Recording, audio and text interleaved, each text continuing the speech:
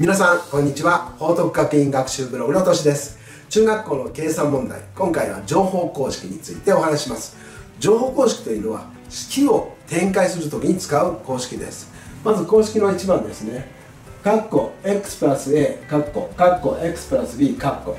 この式を展開するんですけれど情報公式を使う時の条件があります。それはそれぞれの括弧の前の部分が揃っていることです。この2つの括弧には前の部分が X で揃っているので情報公式が使えるということです。この式を展開すると x2 乗プラス括弧 a プラス b 括弧 x プラス ab こんな風になるんですね。なぜこんな風になるか。というのを前回の式の展開の考え方で説明していきます。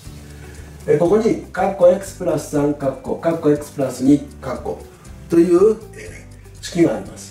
これ前の部分がそれぞれの括弧の前の部分 x で揃っているので乗法公式が使います。これを今までの方法で展開すると x2 乗プラス 2x プラス 3x プラス最後に 3×2 で6と。こうなります。同類項があるのでここ計算できちゃいますからこれを計算すると x2 乗プラス 5x プラス6、ね、このように式が展開できますよね。でここの5ってどこから来たの？というとここの5はここでは2たす3前の括弧の中ではこの x の後ろについてる数字これを合わせていますよね。ここの部分ここを一度にやっちゃいましょうというのが、えー、乗法公式なんです、a たす b これ3たす2なんですけどここの部分をいっぺんにやっちゃってここをなくして一気にここに行こうよ答えを出そうよということですね。じゃあ実際にこの4問使って練習一緒にやりましょう。括弧1括弧 a プラス4括弧括弧 a プラス5括弧、えー、それぞれの括弧の前の部分 a で揃っているので乗法公式が使えます。そうすると a の2乗次は4たす5でプラス 9a そして 4×5 でプラス20と一気にできちゃいますよね。式が展開できました。括弧2番。括弧 a プラス8括弧括弧 a マイナス2括弧。これも前の部分が a で揃っているので乗法公式が使えます。で a の2乗次は8-2でプラスの6ですから。プラス 6a 最後に 8× マイナス2でマイナス16このように式が展開できるわけです。括弧3番括弧 x マイナス2括弧括弧 x マイナス7括弧括弧の前の部分文字 X で揃っているので乗法公式が使えます。展開すると x の2乗次はマイナス2マイナス7でマイナス 9x 最後にマイナス 2× マイナス7でプラス14と。このように展開できます。括弧4番。括弧 x マイナス9、え後ろの括弧が括弧 x プラス6前の部分が x で揃っていますよね。ですから x の2乗。次はマイナス9プラス6ですからマイナス 3x 最後はマイナス 9× プラス6で。マイナス54と x2 乗マイナス 3x マイナス54これが4番の答えになるわけです。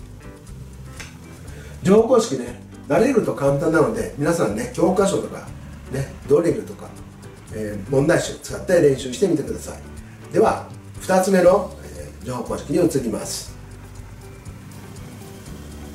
今度は平方の公式です。括弧 a プラス b 括弧閉じ2乗。これを展開すると a2 乗プラス 2ab プラス b の2乗。このようになります。もう一つが括弧 a マイナス b 括弧閉じ2乗。この場合は a2 乗マイナス 2ab プラス b の2乗になります、えー、下の式ですね。これ時々ここがマイナスなのでこのマイナス b の2乗。これこう書く人がいるんですけどこれ気をつけてください。ここの部分ってマイナス b かけるマイナス b になるので必ず2乗の部分は正の数になるのでプラス b の2乗です。じゃあなぜこの公式に成り立つのか。ね。括弧 x プラス3括弧の2乗。これを使って説明していきます。このカッコ x プラス3カッコの2乗。という意味はカッコ x プラス3もう一つカッコ x プラス3このようになっている。ということです。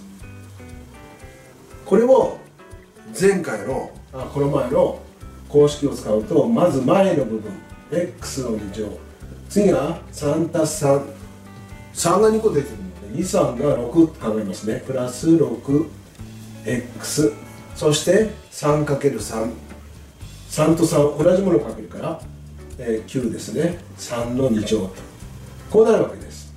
ですから x の2乗プラス 6x の6はここの3を2倍して前の x をかけている。で最後の9というのはこの3を2乗しているということですのでこの式になるわけです。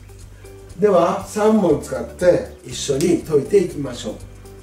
括弧1番。a プラス4括弧閉じ2乗。まず前の a の2乗。次に4を2倍して死人が8に a をかけてプラス 8a そして一番最後に4の2乗でプラス16このように式が展開できます。括弧2番。同じようにやっていきましょう。括弧 x-6 括弧の2乗。前の部分の x の2乗。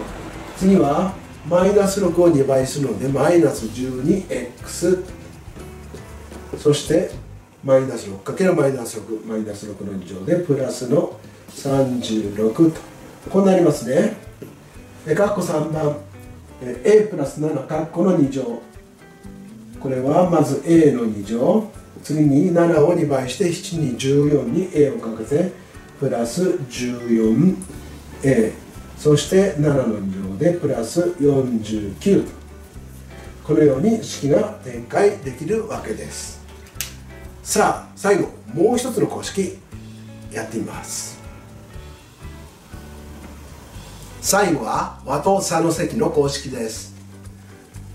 カッコ a プラス b カッコカッコ a マイナス b カッコ。これを展開すると a2 乗マイナス b2 乗。このようになります、えー、カッコの中に入っている文字 a と b a と b、ね、同じ文字が入っているんですけれど片方が足し算片方が引き算になっていますよね。これ前が引き算で後ろが足し算でも答えは同じです。なぜそうなるのか。公式の位置を使って考えてみますね、えー、カッコ x プラス9括弧 x マイナス9これを展開するとまず前の2乗。次に来るのはこことここを足したものに前の x をかける。こういう形ですよね。そして最後は 9× マイナス9でマイナス81となります。で真ん中の部分9-9だからなくなっちゃいますよね。ですからこの答えは x2 乗マイナス81と。前の x2 乗をねしたものから後ろの9の2乗を引いた形。このようになるということです。では、えー、この4問使って一緒に問題を解いていきましょう。括弧1 a プラス6括弧括弧 a マイナス6括弧。a の2乗から後ろの6の2乗を引くのでイコール a2 乗マイナス36と。こうなりますよね。えー、括弧2番。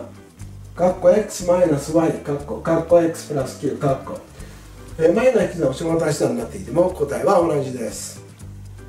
ですから前の x の2乗を引く後ろの y の2乗とこのように計算できます。えー、括弧3番、括弧 A プラス2分の3括弧、括弧 A マイナス2分の3括弧。えー、これ分数でももちろん同じですよね。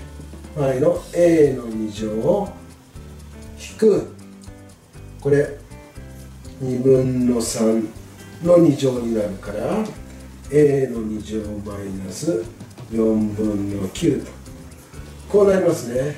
ここでは途中経過書いてありますけれど、もう分かる人はこの式から一気に答えにいっちゃってください。括弧4番、括弧 x-4 括弧、括弧4プラス x 括弧。あれ？これ上と違うんじゃない？こう思いますよね普通はですからちょっと後ろの括弧の順番変えます x-4 と順番変えて x プラス4に変えます。そうすると並び方は同じになって引き算と足し算ですから x の2乗から4の2乗を引いた 16x 乗マイナス16という答えが出るわけです。今回は乗法公式についてお話ししました。今日も最後まで見ていただきどうもありがとうございました。ではまたお会いしましょう。さようなら。